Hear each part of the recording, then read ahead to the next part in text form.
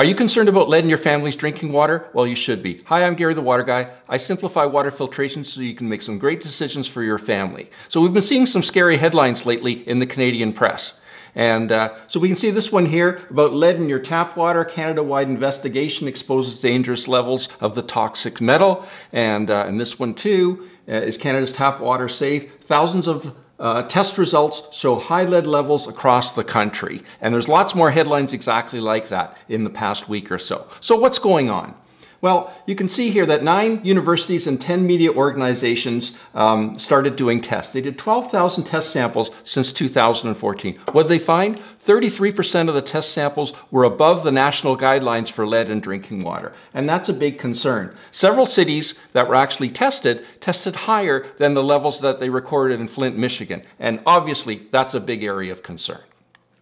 So how did the lead get in the water? I think that's the first thing we, we need to know. So I checked with Health Canada to, to find out what they say.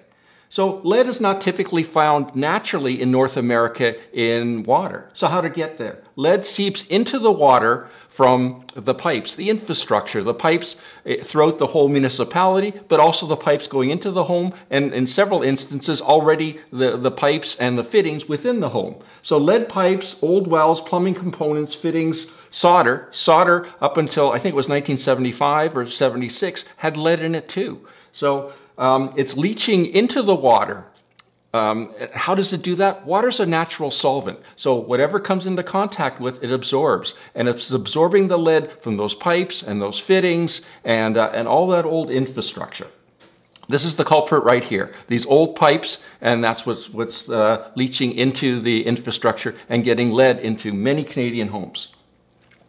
So what are the health effects of uh, drinking water with lead in it? So again, I went to Health Canada just to see what they would say. So inorganic lead compounds have been classified as, as possibly carcinogenic to the humans. In other words, they can cause cancer. But they go on to say that's not the biggest concern. The biggest concern is how long-term effects of, of, folks drinking uh, water with lead in it can, can affect the, the, human body. So reduced cognition, increased blood pressure, and uh, renal dysfunction in adults, which is a big concern. Adverse neuro neurodevelopmental and behavioral aspects in children. And now we're getting closer to the real problem here. It's children. So the strongest association observed to date is between increased blood lead levels in children and reductions in intelligence quotient, IQ. IQs are, uh, are dropping because of the lead levels uh, in water when children drink water that has lead in it. So then I checked with the Mayo Clinic just to see what they said about the whole thing. And uh, lead is a toxin to the human body and especially harmful to children due to their developmental uh, developing brain and nervous systems. Children can have the most serious effects on the neurological system, including poor concentration, behavioral issues, effects on IQ, again, lowering that IQ, and uh, academic achievement and developmental de delay. But the scariest part is the effects of lead are not reversible.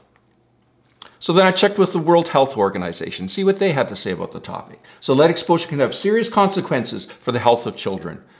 At high levels of exposure, lead attacks the brain and central nervous system to cause coma, convulsions, and even death. Well, we're not talking about high levels here. We're talking about moderate levels, but again, above the national standard for lead. So reduced intelligence quotation, again, reduced IQ, behavioral changes, and reduced attention span, and increased antisocial behavior, and reduced educational attainment. In other words, children won't do as well as in school. That's a big concern for any parent. Now we know the health effects of having lead in your drinking water. Click right here on my next video and we'll talk about how to remove that lead and make that water safe for your family. I'll see you there.